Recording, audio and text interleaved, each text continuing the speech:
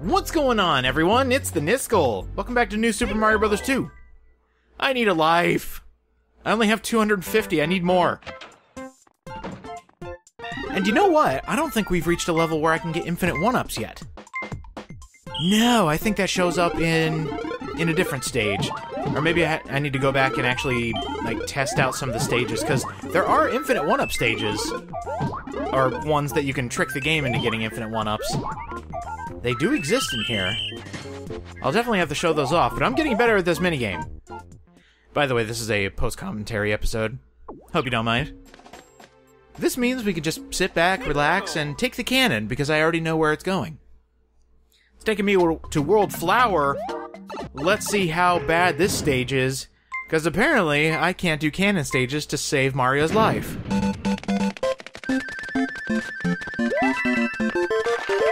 Okay, this is pretty straightforward. You got Wigglers! Are they so happy right now because I'm not jumping on their face? Oh, accidentally caught that one in the butt. And now he's mad. Don't jump on a Wiggler's butt, dude. They hate that.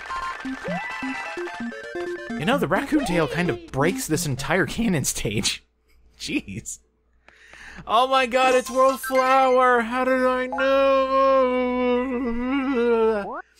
See, I can do that now that I'm not holding a 3DS. I can just do weird things with my face, even though you can't see them. There's a reason I don't do webcam LPs, because now you have to use your imagination on what I'm doing right now. Okay, there's that. Let's do this stage first, because this stage rocks. This is actually a legit amazing stage. Because you get to choose your difficulty. And it's all based around the mini mushroom and running on the water. Seriously, as soon as I saw what this stage was doing, I immediately fell in love. So there's your options. Hard mode, easy baby mode. We're not going to be in easy baby mode today. We're going to be super hardcore mode. And I also love that they give you a little coin box so you can be a, a little mini blockhead. And this is your stage. Tons of Cheep Cheeps, which means you can't stop running, otherwise you go into the water and you fall into a Cheep Cheep. There are sharp spike blocks all over the place, and coin trails telling you where to jump and where to land. This is an amazing stage, and so far I have missed two of the three star coins. yeah, it's one of those stages where um, it is automatic, and if you don't get the coins, you're replaying the entire stage. But the cool thing about this stage is it takes no time at all to finish. I think at the end of this recording, I did this stage about five different times. And that's mainly because it was me getting mini mushroom power-ups for later on. Um, I think it was also due to the fact that I wanted to see everything. Like, I, I kept missing small things because this is essentially a blind play, even though I've beaten this game 100% before. But uh, it, it was good to see a stage like this again. See, these are the kinds of stages I love. I love challenging stages. It's just when you get to, like, unfair hard is when I start hating them. And even if the stages are kind of easy, I, I still don't mind them. I think this is why in my spare time I play Mario Maker 2 and just do random stages made by random people. Because some of them are ungodly unfair and or troll levels, or you get a nice, decently difficult stage. So this next run we're going to do is actually going to be uh, baby mode, just so you can see the big differences. And it's a pretty good idea. The one thing that's uh, bad for completionist's sake is uh, if you're trying to 100% the game, baby mode is not for you. Baby mode is the version that has no star coins, which means in order to get 100%, you gotta get good, son. You gotta learn how to play this Mario game. You need to learn how to run on the water. No mercy! this is Mario Boot Camp! We're gonna teach you how to make a fun Mario game whether you like it or not. I actually think that's how this game came to be. If I, there was an article I read uh, where the team that was making New Super Mario Bros. 2 basically went to Mario School.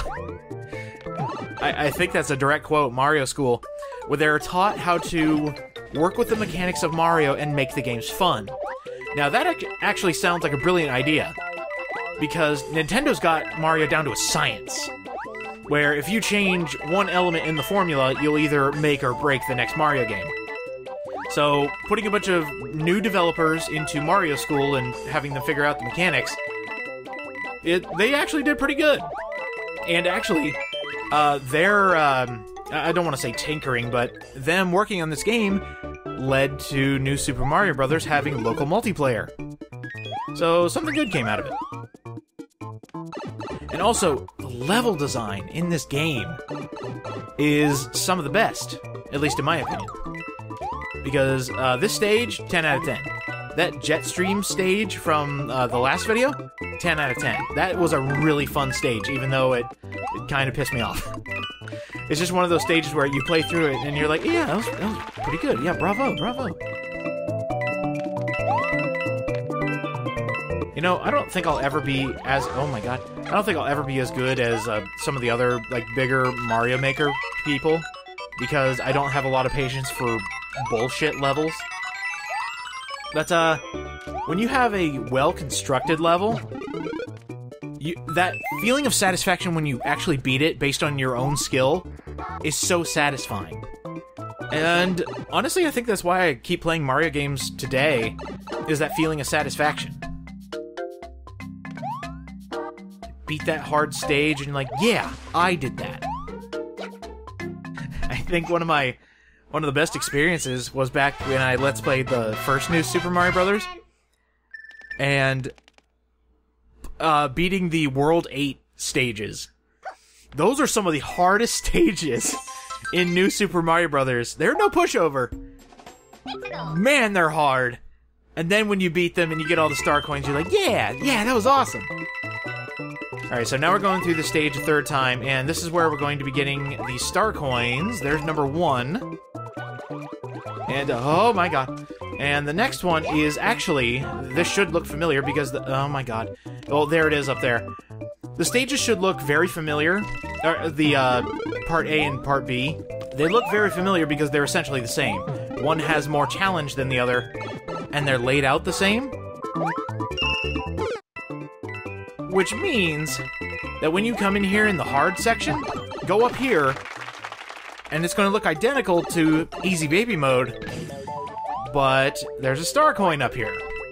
So they thought of that. And I'm glad they did. But then it leads to people like me just checking both paths. Like, did I miss anything? I need a 100% new Super Mario Brothers.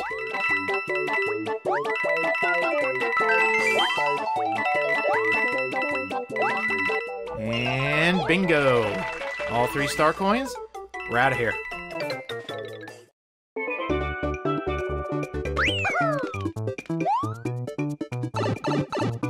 You know, now that I'm thinking about level design, and I'm just talking, because I, I don't know much about level design. I just play the games. I'm not, like, into the deep science of how to make a level. But you know, the Mario game that has some of the best design levels is actually Mario Odyssey? because they're big, wide open, and they have something that I don't think a lot of games have much of anymore, and it's making the player feel smart. Now, there are many ways you could do that, but Mario Odyssey has this fascination with having all the thoughts in the world. And what I mean by that is, when I throw Cappy at something that looks so stupid, there's no way there's a moon on there, but what if they thought of that and a moon is in there?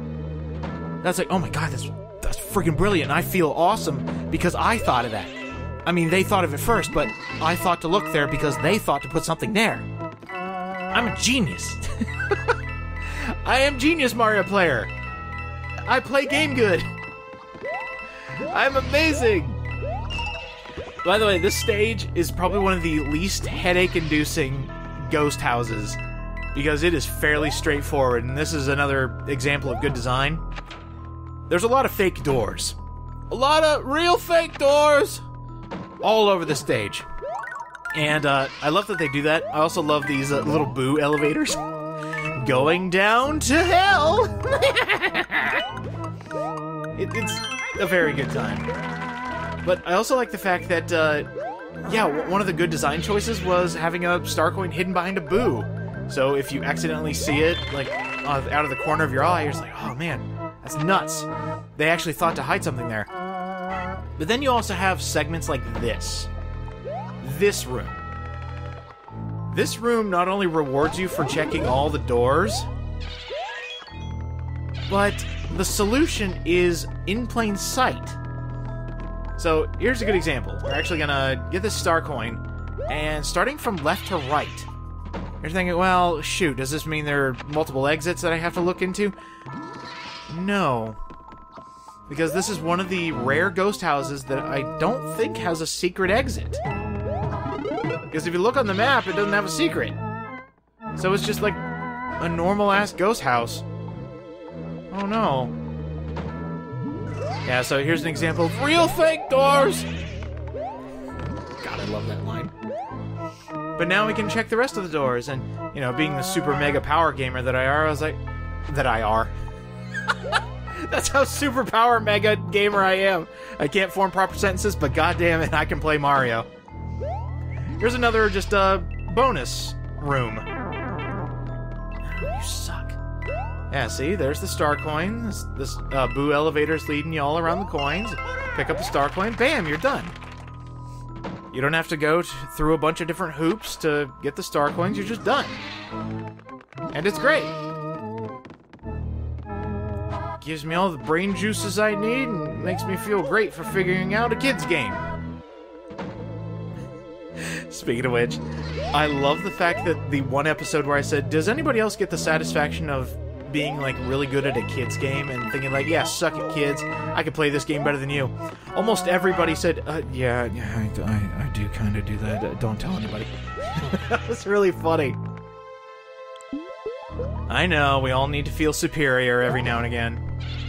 Like this, I actually felt pretty superior about this. Coming in with a Tanuki leaf, ready to open up this place, and oh my god, this is a secret exit. I'm so stupid. Don't listen to me. Even though I pre-recorded this, I still couldn't remember what this stage had. nice. Actually, no, that'd be double.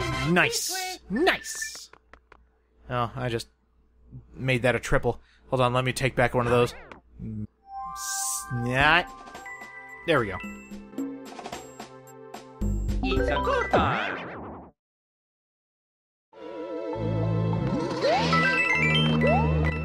Here's the other exit.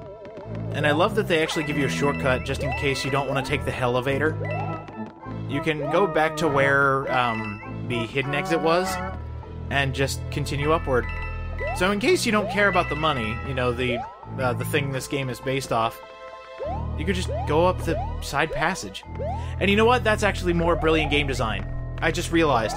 If you go in there without a power-up, you're not screwed if they didn't have that extra uh, uh, extra platforms, you would have been screwed. So good game design. Good job, guys. You did it, B Team. You made a Mario game that Nintendo can be proud of. So proud of that they don't even acknowledge it on Mario's 35th. I'm never gonna get over that. We did it! We've unlocked so many stages and we've played so much Mario today. Next time on New Super Mario Bros. 2, let's go ahead and finish up World 3. Don't have much left. See you guys next time.